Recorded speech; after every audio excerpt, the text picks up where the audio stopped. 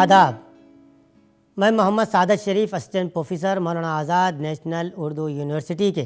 نظامت فاصلاتی تعلیم کے علم معاشیات کی نشست میں آپ کا استقبال کرتا ہوں۔ علم معاشیات کی تاریخ اتنی ہی پرانی ہے جتنی کہ انسانی تہذیب۔ پیشہ زراعت تو پہلا پیشہ ہے جس کو انسان نے اپنی حاجتوں اور ضرورتوں کی تکمیل کے لیے اختیار کیا تھا۔ علم معاشیات دیگر مضامین کی طرح اپنی اہمیت و افادیت میں کافی وسرت کی ہے۔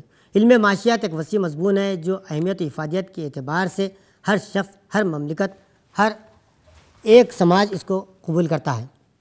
معاشیات میں عام طور پر زیر بحث جو موضوع آتے ہیں، اس میں وسائل اور حاجتوں کو تکمیل کرنے کے لیے وسائل کی منصوبہ بندی ہے۔ علم معاشیات میں انفرادیت کے بجائے انفرادیت کے ساتھ ساتھ اجتماعی طور پر مسائل کو حل کرنے کی کوشش اور جد و جہد کی جاتی ہے۔ علم معاشیات کا تعلق نہ صرف عمرہ شرفا بلکہ غریب اور یومیہ مزدوری کرنے والے شخص سے بھی پایا جاتا ہے۔ ہر وہ شخص جو زندگی گزارتا ہے، ہر وہ شخص جو ذہنی اعتبار سے کامل، درست ہے روز مرہ ہر لمحہ علم معاشیات سے واقفیت رکھتا ہے۔ اپنے وسائل کا بھرپور استعمال کرنے کے لیے علم معاشیات کا جانے اور انجانے طور پر اس کو اپنی روزمرہ زندگی میں استعمال کرتا ہے۔ ایک دستکار ایک صنعت کار ایک طالب علم، ہر لمحہ علم معاشیت کی اہمیت و افادیت کو تسلیم کرتے ہوئے اپنا روزمرہ کی زندگی میں اس کو منصوبہ بند طریقے سے استعمال کرتا ہے۔ کیونکہ ہر شخص کے وسائل محدود ہوتے ہیں، وہ اپنے محدود وسائل کو اس طرح استعمال کرتا ہے یا اوقات کو اس طرح تقسیم کرتا ہے جس کے وقت کے ہر ایک لمحے میں اس کے زیادہ سے زیادہ فائدہ حاصل ہو سکے یا اس کی زیادہ ضرورتیں یا حاجتوں کی تکمیل ہو سکے۔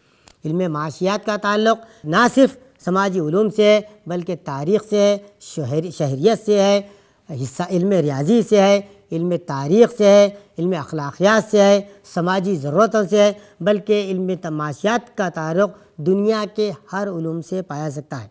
لفظ اکنامک دراصل یونانی لفظ اکنومیا سے ماخوذ ہے۔ یہ دو الفاظ کا مجموعہ ہے۔ لفظ اکوس کے معنی گھر یعنی ہاؤس اور نومس کے معنی روایت، اصول یا کسٹم کے ہیں۔ اس طرح اکنامک کے لفظی معنی گھریلو انتظامیہ کا اصول یا management of household administration قرار دیا گیا۔ اسکاٹ لینڈ کے علم معاشیات کے پروفیسر آدم اسمتھ نے سترہ سو چھہتر عیسوی میں اپنی کتاب an inquiry into the nature and causes of wealth of nation یعنی دولت اقوام میں علم معاشیات کو سائنس آف ویلتھ یعنی دولت کا مطالعہ قرار دیا۔ اس تعریف کی روح سے ایسا علم جو دولت کی پیداوار پر بحث کرتا ہو، اس کو معاشیات کہتے ہیں۔ پروفیسر آدم اسمتھ نے علم معاشیات کی اپنی تعریف میں دولت کو مرکزی اہمیت دی، اسی لیے آدم اسمتھ کی تعریف کو معاشیات کی دولت والی تعریف یا ویلتھ ڈیفینیشن آف اکنامک بھی کہتے ہیں۔ اس تعریف کے بعد علم معاشیات کو ایک علیحدہ مضمون کی حیثیت حاصل ہوئی۔ اسی لیے آدم اسمتھ کو علم معاشیات کا باوا آدم یا فادر آف اکنامک بھی کہتے ہیں۔ علم معاشیات پر چند اہم ماہرین معاشیات کے تعریف اس طرح ہیں۔ جیس مل کے مطابق، معاشیات عملی طور پر دولت کی پیداوار اور تقسیم پر بحث کرتی ہے۔ یعنی economic is practical science of production and distribution of wealth. French ماہر معاشیات جے بی سی کے مطابق economic is the science which treats wealth. Professor Henry Clay کے مطابق، معاشیات دولت کی پیداوار اور اس کے استعمال پر بحث کرتی ہے۔ اور پروفیسر فرانسس واکر مطابق، معاشیات دولت کے متعلق علم ہے۔ اسی طرح، اسنادی ماہرین معاشیات یعنی کلاسیکی ماہرین معاشیات نے اپنی معاشی تعریفات میں دولت کو مرکزی اہمیت دیتے ہوئے معاشیا علم معاشیات کو دولت کا مطالعہ قرار دیا۔ آدم اسمتھ نے دولت کے مطالعے کو چار حصوں میں تقسیم کیا۔ پیدائش دولت، صرف دولت، متبادلہ دولت اور تقسیم دولت۔ پیدائش دولت سے مراد ان اصولوں کے تحت جن کے تحت انسانی ضروریات یا حاجت کی چیزیں پیدا کی جاتی ہیں، وہ پیدائشی دولت کہلاتی ہیں۔ صرف دولت سے مراد جن اصولوں کے تحت کسی قوم کی دولت کو استعمال میں آنے والے اشیاء اور خدمات پر خرچ کی جاتی ہے، وہ صرف دولت کہلاتی ہے۔ تبادلہ دولت سے مراد افراد اپنی پیدا کردہ اشیاء اور خدمات کا آپس میں جن اصولوں کے تحت باہمی تبادلہ کرتے ہیں، وہ تبادلہ دولت کہلاتا ہے۔ اور تقسیم دولت سے مراد تمام عاملین پیدائش کا جن اصولوں کے تحت اشیاء کی پیدائش میں استعمال کی جاتی ہے، وہ تقسیم دولت کہلاتا ہے۔ آدم اسمتھ کے مطابق پیدائش دولت کا انحصار صرف دولت پر ہوتا ہے، کیونکہ معیشت میں سرمایہ کاری یا دولت مشغول کرنے کے سبب معاشی سرگرمیاں وجود میں آتے ہیں۔ تمام کلاسیکی ماہرین معاشیات کے قریب دولت سے مراد بلند تر مقصد کے تحت حاصل کی جانے والی آمدنی تھی، جس کے ذریعے انسان اپنی ضرورتوں کی تکمیل کرتا ہو۔ علم معاشیات کی دولت والی تعریفات کا جائزہ لینے سے محسوس ہوتا ہے کہ کلاسیکی ماہرین معاشیات نے صرف ایسے افراد یا ان سرگرمیوں کو علم معاشیت کا محور قرار دیا جو مادی یا دولت سے تعلق رکھتے ہوں۔ لیکن ایسے افراد یا ان سرگرمیوں کو شامل نہیں کیا جن کا تعلق دولت سے نہ ہو جیسے سماجی فلاحی کام، معاشرے کے افعال، سماجی اقدار، انسانی کردار، صفات وغیرہ کو کوئی مقام نہیں دیا۔ اسی لیے اس وقت کے مفکرین، مسلحین، رسکن اور کارلائن نے معاشیات کی دولت والی تعریف پر سخت تنقیدیں کرتے ہوئے اس کو زر پرستی کی تعلیم، لالچ کی تعلیم، تاریخ، سائنس، منفی سائنس قرار دیا۔ نو کلاسیکی ماہرین معاشیات Marshall A C Pigou, Cannan Beveridge نے معاشیت کی دولت والی تعریفات پر چند اہم تنقیدیں اس طرح کی ہیں۔ تمام کلاسیکی ماہرین معاشیات نے صرف دولت کو ہی مرکزی اہمیت دیتے ہوئے انسان کی اہمیت، شخصیت، معاشرتی و سماجی فلاح بہبودی کو اکثر نظر انداز کیا ہے۔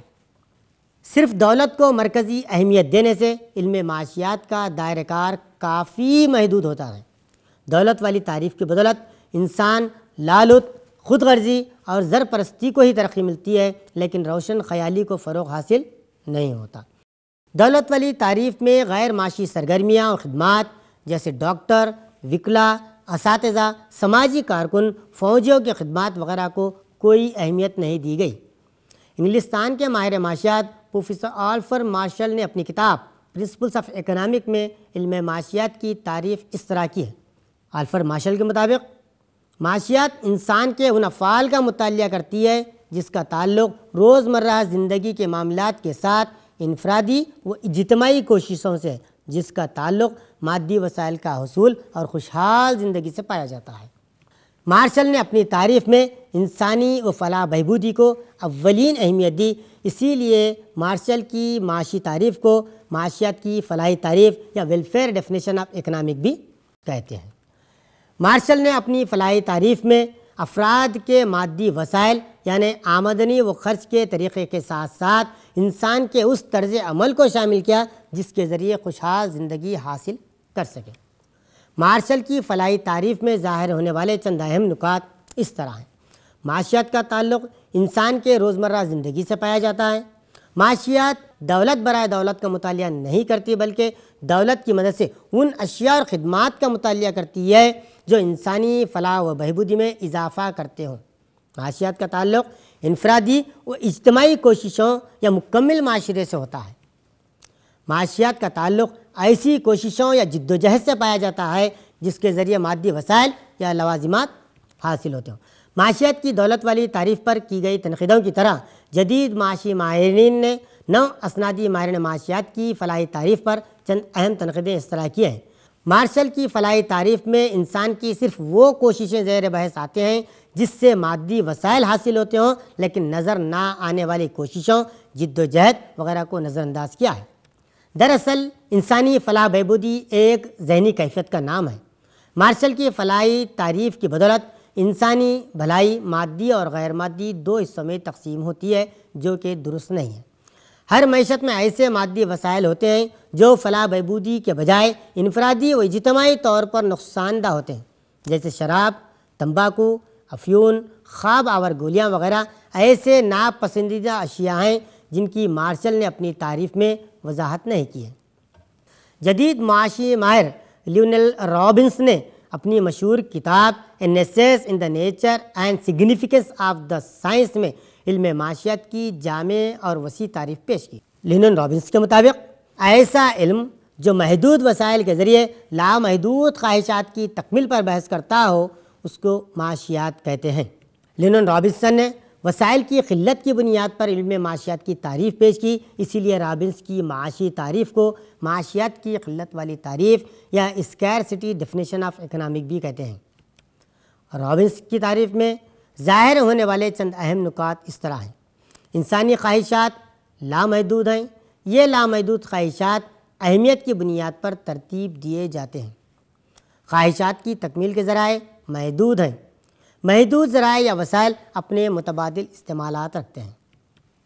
پروفیسر رابنس کے مطابق ہر شخص اپنے بے شمار خواہشات کی تکمیل کے لیے محدود وسائل کو اس طرح استعمال کرنے کی حکمت عملی اختیار کرتا ہے جس سے زیادہ سے زیادہ خواہشات کی تکمیل ہو سکے۔ رابنس کے نزدیک زر، وقت اور دیگر اشیاء جن سے خواہشات کی تکمیل ممکن ہو، ان کو ذرائع یا وسائل کہتے ہیں۔ یہ بات درست ہے کہ اگر خواہشات محدود ہوں یا ایک دو ہو تو ان کی تکمیل کے لیے کوئی مشکل نہیں، بلکہ محدود وسائل کے ذریعے ان خواہشات کی تکمیل کی جا سکتی ہے۔ اس کے برخلاف اگر لامحدود خواہشات ہوں اور وسائل کم ہوں ایسی صورت میں معاشی مسئلہ پیدا ہوتا ہے۔ اس طرح خواہشات کی تکمیل کے لیے ذرائع یا وسائل جب بے شمار ہوں تو ایسی صورت میں معاشی مسئلہ پیدا نہ ہوگا، بلکہ خواہشات کو آسانی سے تکمیل کیا جا سکتا ہے۔ اس کے برخلاف محدود وسائل ہونے کی صورت میں ضرور معاشی مسئلہ پیدا ہوتا ہے۔ وسائل کی قلت کے سبب انسان معاشی جد و جہد میں مشغول ہو جاتا ہے۔ خواہشات کی تکمیل کے دوران اہم خواہش کو پہلے مکمل کرتے ہوئے غیر اہم خواہش کو مستقبل کے لیے ملتوی کر دیتا ہے۔ اس لیے رابنس نے معاشیات کے مفہوم کو خلت اور انتخاب، سائنس آف چائس کا نام دیا۔ رابنس کی خلت والی معاشی تعریف کی خوبیاں اس طرح ہیں۔ رابنس کی معاشی تعریف حقائق پر مبنی ہے، کیونکہ لامحدود خواہشات اور وسائل کی قلت کی اہمیت و افادیت اور سچائی کو ہر شخص تسلیم کرتا ہے۔ رابنس کی تعریف کی بدولت علم معاشیات میں زیر بحث آنے والے مسائل سے واقفیت ہوتی ہے۔ رابنس کی تعریف میں خواہشات کی تکمیل کے لیے انسانی جد و جہد، کوششوں کا مطالعہ کرنے کا موقع ملتا ہے۔ محدود وسائل کا بہتر اور بھرپور استعمال کرنے کی حکمت عملی سے واقفیت حاصل ہوتی ہے۔ معاشیات کی دیگر تعریفات کی طرح رابنس کی قلت والی تعریفات بھی پر بھی اس طرح تنقیدیں کیے گئے ہیں۔ آلفرڈ مارشل کے حامی ماہرین معاشیات ڈربن فزس اور اوٹن نے رابنس کی قلت والی معاشی تعریف پر چند اہم تنقیدیں اس طرح کی ہیں۔ اوٹن کے مطابق رابنس کی معاشی تعریف بے رنگ، غیر ذاتی اور غیر جانبدار ہے۔ کیونکہ مقاصد کے تعین کے دوران غیر جانبدار ہونے سے معاشیات کا دائرہ کار کافی محدود ہو جاتا ہے۔ رابنس نے علم معاشیات کو طبیعت، کیمیا کی طرح خالص سائنس کا رتبہ دیتے ہیں، لیکن حقیقت میں علم معاشیات ایک معاشرتی علم ہے جس میں قوانین و قاعدے نہیں ہوتے۔ رابنس کی تعریف کی بدولت علم معاشیات صرف قدر و قیمت کے تعین کا نظریہ بن کر رہ جاتی ہے۔ رابنس کی تعریف میں انسانی تعلقات کا کوئی ذکر نہیں ہے، جس کے سبب علم معاشیات میں انسانی دلچسپیاں، انسانی فلاح بہبودی ٹوٹ جاتی ہے۔ حقیقت میں علم معاشیات کو انسانی زندگی، فلاح بہبودی سے بے کانہ کرنا درست نہیں ہے۔ رابنس کی قلت والی تعریف میں معاشی ترقی، روزگار، منصوبہ بندی وغیرہ اہم معاشی پہلوؤں کا کوئی ذکر نہیں ہے۔ علم معاشیات اقتصادی، سماجی مسائل کو حل کرنے کے لیے روشن خیال، حقیقت پسندانہ اور ٹھوس رہنمائی کرنے والا علم ہوتا ہے، جس سے انسان و مملکت ہر دونوں کو فائدہ حاصل ہوتا ہے۔ لیکن رافنس کی قلت والی تعریف میں ایسے صفات نظر نہیں آتے، بلکہ ان کی قلت محسوس ہوتی ہے۔ اسی طرح جدید معاشی ماہرین میں پال سیمنسن نے علم معاشیات کی ایک جامع تعریف پیش کی، جسے گروتھ ڈیفینیشن آف اکنامک یا معاشیات کی نمو تعریف کہتے ہیں۔ پال سیمنسن کے مطابق economic is the study of how men and society choose with or without use of money to employ scarce productive resources which could have alternative uses of produce various commodities over time and distribute them for consumption now and in the future among various people and group of society. یعنی سمیلسن کے مطابق زر کے استعمال یا زر کے استعمال کے بغیر افراد اور سماج کے محدود وسائل جو متبادل استعمال رکھتے ہوں انہیں مختلف اشیاء کی پیدائش یا صرف کے لیے حال یا مستقبل کس طرح سماج افراد یا جماعتوں کے درمیان تقسیم کیا جا سکتا ہے، ان پر بحث کرنے والا علم معاشیات کہلاتا ہے۔ سمیل سن نے علم معاشیات کی تعریف کو ایک حرکیاتی پس منظر میں پیش کرتے ہوئے علم معاشیات کی اہمیت، افادیت اور اوسط کو کافی اضافہ کیا ہے۔ عزیز طلباء و طالبات، آج کے علم معاشیات کی اس نشست میں ہم نے دیکھا کہ معاشیات کی پر پیش کی جانے والے کلاسیکی ماہرین معاشیات نو اسنادی ماہر ماہرین معاشیات اور جدید ماہر معاشیات کے مختلف تعریفات کا جائزہ لیا ہے۔ کلاسیکی ماہر معاشیات معاشیات کے بابا آدم، پروفیسر آدم اسمتھ کے مطابق معاشیات دولت کی پیداوار پر بحث کرنے والا علم ہوتا ہے۔ آدم اسمتھ نے اپنی تعریف میں دولت کو مرکزی اہمیت دی، اسی لیے آدم اسمتھ کی تعریف کو معاشیات کی دولت والی تعریف کہتے ہیں۔ اسی طرح نو کلاسی کے ماہر معاشیات میں مارشل نے معاشی تعریف میں انسان کی فلاح و بہبودی کی اولین اہمیت دیتے ہوئے معاشیات کی ایک جامع تعریف پیش کی۔ جدید معاشی ماہر لیونن رابنس نے علم معاشیات کی ایک جدید تعریف پیش کی۔ لیونن رابنس کے مطابق، معاشیت ایک ایسا علم ہے جو محدود وسائل کے ذریعے لامحدود خواہشات کی تکمیل کرنے پر بحث کرتا ہے۔ علم رابنس کے مطابق، انسانی خواہشات لامحدود ہوتے ہیں، خواہشات کی تکمیل کے ذرائع محدود ہوتے ہیں اور محدود وسائل اپنے متبادل استعمالات رکھتے ہیں۔ جدید معاشی ماہر پال سمنسن نے معاشیات کی ایک جدید حرکیاتی تعریف پیش کی جسے معاشیات کی نمو تعریف پیش کہتے ہیں۔ پال سمنسن کے مطابق، زر یا زر کے استعمال کے بغیر اس کا سماج میں پائے جانے والے وسائل کا بہتر استعمال، جس کو حال اور مستقبل میں سماج کے استعمال استعمال کے قابل بنایا جاتا ہے، اس پر بحث کرنے والے علم کو معاشیات کہتے ہیں۔ جدید معاشی ماہر پال سمنسن نے معاشیات کی ایک نمویاتی انداز میں تعریف پیش کی۔ پال سمنسن کے مطابق معاشیات ایک ایسا علم ہے جو زر کے استعمال یا زر کے استعمال کے بغیر سماج کے مادی وسائل کو سماج کے استعمال کے قابل، حال اور مستقبل میں اس طرح تقسیم کیا جائے جس سے کہ سماجی ضرورتوں کی تکمیل مکمل ہو سکے۔ اس پر بحث کرنے والے علم کو معاشیات کہتے ہیں۔ محدود وسائل کا منصوبہ بند طریقے سے اس طرح استعمال کیا جائے جس سے بیشترین مفاد یا فائدہ حاصل ہو سکے۔ چونکہ معاشیات کا دائرہ کار کافی وسیع ہوتا ہے، اسی لیے ہر اعتبار سے وسائل کا بہتر استعمال کیا جانا ضروری ہوتا ہے۔ علم معاشیات میں منصوبہ بند طریقے سے محدود وسائل کو بیشترین مفاد کے تحت استعمال کرنے کی حکمت عملی پر غور کیا جاتا ہے۔ چونکہ ہر شخص، ہر مملکت، ہر ملک اپنی بھوک مری بے روزگاری، مفلسی پست معیار زندگی جیسے مسائل سے گھرے ہوئے ہیں۔ ان مسائل کو دور کرنے کے لیے علم معاشیات کا منصوبہ بند طریقے سے استعمال کیا جانا بے حد ضروری ہے۔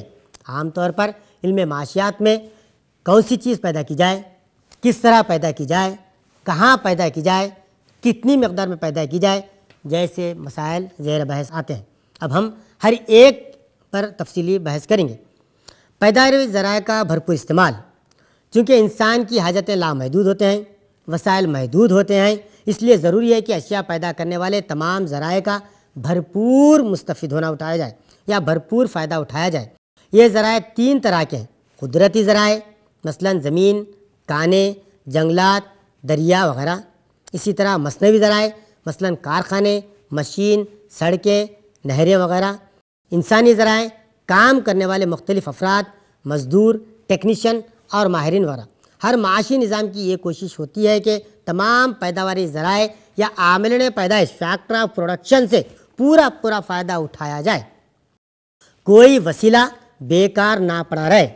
بے روزگاری کو ہم ہر ممکن طریقے سے ختم کیا جائے۔ اسی طرح کون سی اشیاء کتنی مقدار میں پیدا کی جائے؟ یہ بھی معاشیات کا دوسرا اہم زیر بحث موضوع ہے۔ دوسرا حل طرف مسئلہ، کون سی شے کتنی مقدار میں پیدا کی جائے، کن ذرائع سے اشیاء کی پیدائش کی جائے، کتنی مقدار میں اشیاء پیدا کی جائے، انسانی حاجتیں کے مقابلے میں پیداواری ذرائع کافی محدود ہوتے ہیں۔ یہ فیصلہ کرنا مشکل ہوتا ہے کہ اشیاء کی پیدائش کی مقدار کیا ہونے چاہیے، جس سے کہ سماج کے تمام ضرورتوں کی تکمیل ہو سکے۔ سماج میں مختلف طبقات، مختلف جنس، مختلف آمدنی رکھنے والے افراد پائے جاتے ہیں۔ لہٰذا اشیاء کی پیدائش کرنے کے دوران ضروری ہوتا ہے کہ سماجی ضرورتوں کو پیش نظر رکھا جائے۔ اسی طرح تیسرا اہم مسئلہ زیر بحث آتا ہے کہ جو اشیاء پیدا کی جاتی ہیں، انہیں کن طریقوں سے اشیاء کی پیدائش کی جائے؟ یا دیسی طریقوں سے اشیاء کی پیدائش کی جائے؟ جدید ٹیکنالوجی کو استعمال کرتے ہوئے اشیاء کی پیدائش کی جائے۔ جدید ٹیکنالوجی کو استعمال کرنے کے دوران کون سے مسائل درپیش ہو سکتے ہیں؟ اس سے کیا فائدہ ہیں؟ اور کیا نقصانات پائے جاتے ہیں؟ ہر وہ چیز کا معیشت پر پڑنے والے اثرات کا جائزہ لینا ضروری ہوتا ہے۔ مثلا غلہ یا اناج اگانے کے لیے ایک طریقہ یہ ہو سکتا ہے کہ زمین کی کم مقدار استعمال کی جائے، لیکن اس پر کھاد، بیج، مزدور اور سرمایہ کاری زیادہ مقدار میں لگایا جا سکتا ہے۔ دوسرا طریقہ یہ ہو سکتا ہے کہ زمین زیادہ مقدار میں زیر کش لائی جائے، لیکن سرمایہ، کھاد، بیج، پانی، مشین وغیرہ کفایت کے ساتھ استعمال کی جائے۔ یہی حال صنعتی میدان میں بھی پایا جا سکتا ہے کہ غرض ایک شے ایک ہی جتنی مقدار میں پیدا کرنے گئے ہیں، ذرائع یا پیدائش کا بہتر طریقہ یا اشیاء کی پیدائش کے لیے بہتر طریقے کو استعمال کرنا ضروری ہو سکتا ہے۔ چنانچہ یہ فیصلہ کرنے کے لیے ان مختلف طریقوں میں سے کون سا طریقہ زیادہ مفید فائدہ مند ہے، جن سے زیادہ معاشی مسائل حل ہو سکتے ہیں۔ جس طرح معیشت کو بیشترین فائدہ حاصل ہو سکتا ہے، ان ذرائعوں کو، ان ذرائع کے ذریعے اشیاء کا اشیاء کی پیدائش کے لیے استعمال کرنا بے ضروری ہوتا ہے۔ پیدا شدہ اشیاء کو معاشرے کے افراد میں کس طرح تقسیم کیا جانا چاہیے؟ چوتھا مسئلہ، مختلف عامل پیدائش، جیسے زمین، مزدور، سرمایہ وغیرہ، قومی دولت پیدا کی جاتی ہے، ان میں سے کس اصول کے تحت تقسیم کی جائے؟ نیز اس بات پر غور کیا جاتا ہے کہ اگر تقسیم دولت کا نظام خراب ہو جائے یا ایک طبقہ زیادہ دولت مند ہو جائے اور دوسرا طبقہ غریب رہ جائے، تو ایسی صورت میں دولت کی غیر مساویانہ تقسیم کے مسائل پیدا ہوتے ہیں۔ یعنی معاشرے میں پائے جانے والے تمام افراد کے درمیان دولت یا معاشی وسائل کا منصفانہ تقسیم کیا جانا ضروری ہے تاکہ اجتماعی طور پر ترقی حاصل ہو سکے۔ اس طرح اشیاء پیدا کرنے کی صلاحیت بھی معیشت میں زیر بحث آ سکتے ہیں۔ سال بزال اشیاء کی پیدائش میں اضافہ کرنے کے لیے کس صلاحیت میں اضافہ کرنا ہوگا؟ کون سی ٹیکنالوجی کو استعمال کرنا ہوگا؟ معیار زندگی پر کیا اثر ہوگا؟ معیار زندگی کو بلند کرنے کے لیے کس طرح پیداواری صلاحیت میں اضافہ کرنا ہوگا؟ ان تمام کا مطالعہ کرنا بھی علم معاشیات میں ضروری پایا جاتا ہے۔ امید کی عزیز طلباء، طالبات آج کے علم معاشیات کی اس نشست میں مختلف تعریفات کو آپ سمجھ میں آ چکے ہوں گے۔ علم معاشیات کے مختلف تعریفات کے شک و شبات کو دور کرنے کے لیے راست مشاورتی جماعتوں میں شرکت کر سکتے ہیں یا پھر نظامت فاصلاتی تعلیم کے ذریعے، خط و خطابت کے ذریعے اپنے شک و شبات کو دور کر سکتے ہیں۔ نظامت فاصلاتی تعلیم، Maulana Azad national Urdu university, Gachibowli, Hyderabad, pin code number پانچ لاکھ بتیس۔ آخر میں مجھے اور مولانا آزاد نیشنل اردو یونیورسٹی کے آئی ایم سی کے مکمل ٹیم کو اجازت دیجیے، آداب۔